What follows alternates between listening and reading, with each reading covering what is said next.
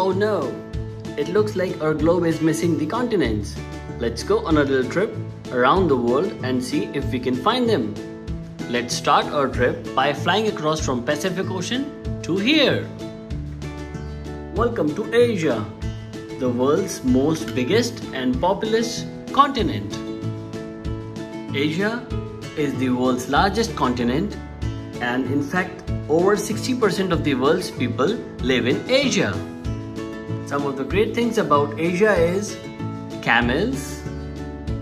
The camels have the hump and they do not store water as some people believe.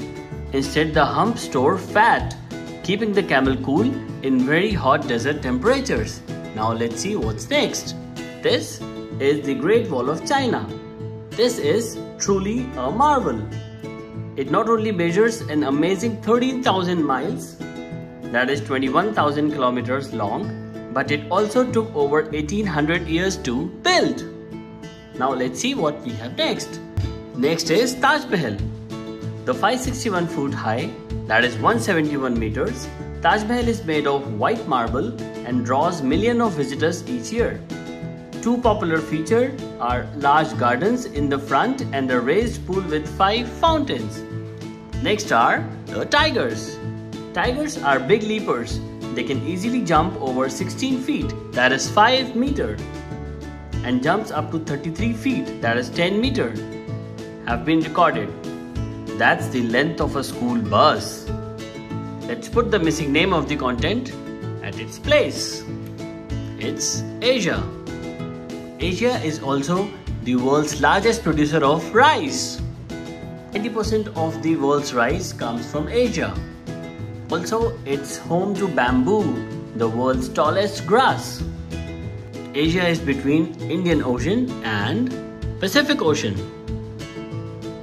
Now, as we have added Asia, let's fly south across the Indian Ocean to over here.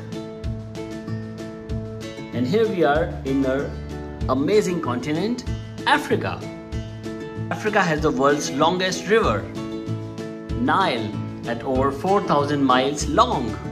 And there is a plenty of wildlife here, like the giraffes and elephants. Next is the famous structures in Africa are the pyramids of Giza.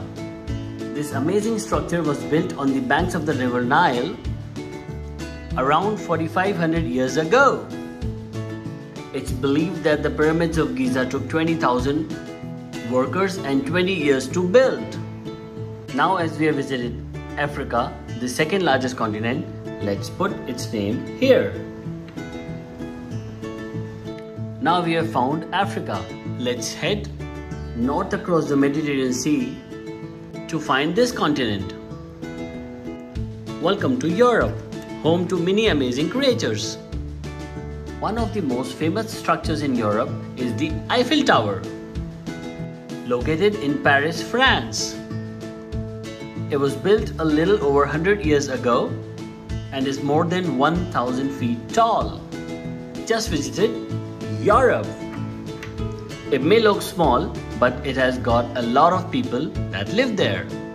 It's the third most populous continent behind Asia and Africa.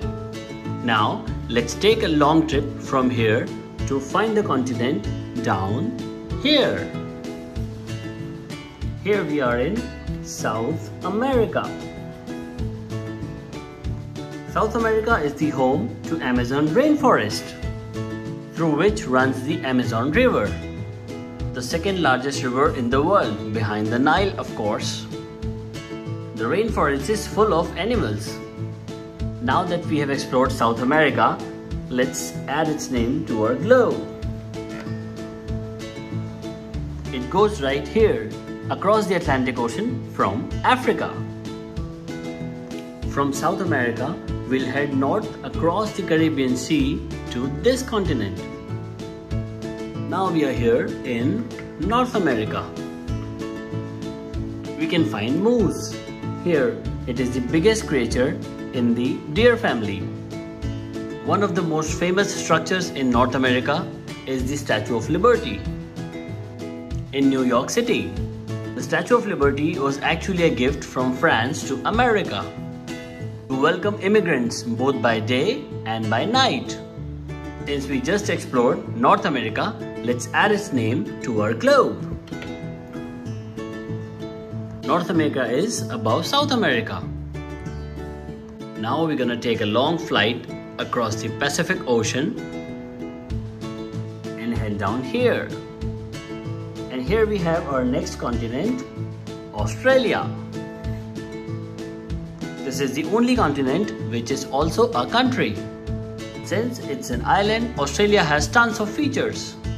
Apart from beaches, Australia has koalas, a cute animal who spends most of the days on eucalyptus trees. And of course, one of the most famous animals of Australia are kangaroos. These marsupials have a pouch to carry their babies or joeys in. Let's name our island continent Australia we just visited. And now that's a happy globe. It has all the six continents we visited. Now our globe is complete. But wait, we have visited only six continents, but there are seven continents. So our seventh continent is at the South Pole. It is called Antarctica. It's too cold and inhospitable for people to live on. But it is an amazing place and plays an important role in our ecosystem. Revise the continents we have visited. First is Asia, second is Europe, third is Africa, fourth is South America, fifth is North America, sixth is Australia, and the seventh here Australia, and the seventh is Antarctica. Here. So today we learned about the seven different continents. We'll meet in the new video. Hit subscribe. Bye bye.